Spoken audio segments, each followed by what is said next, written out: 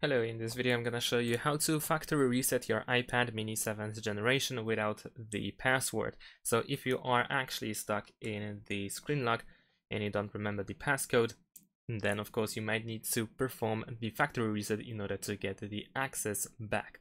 And in order to do that, you will need to use the USB cable and you, you need to perform the factory reset by using the recovery mode. In order to do the recovery mode, or actually go to the recovery mode, and perform the factory reset, you will need the USB cable. You need to connect your iPad to your computer, whether it is Windows PC, laptop, or MacBook.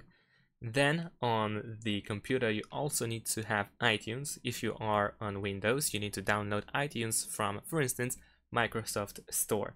And then once you connect the USB cable to the iPad, what you need to do is lock, not lock, sorry, uh, perform the uh, short combination of buttons. You need to use a shortcut that allows you to turn off the device and go to the factory, uh, sorry, not factory, to the recovery mode. Now, in order to do that, you need to use the volume up button and then you need to press and quickly release it. Then you need to do the same thing with volume down and then press and hold the top button or power button. So let me demonstrate.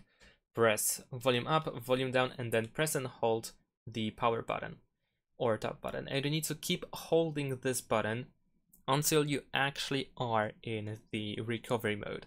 So first the screen will turn off just like it did right now.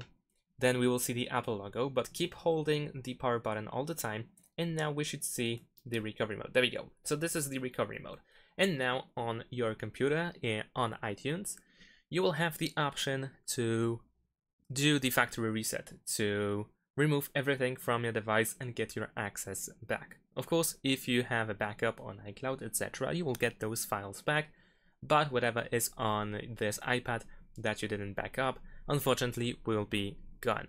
And this is how we can do the factory reset without using settings, but using the recovery mode, and that's pretty much it. Thanks for watching, leave a like and subscribe to my channel, and see you in my next videos. Bye!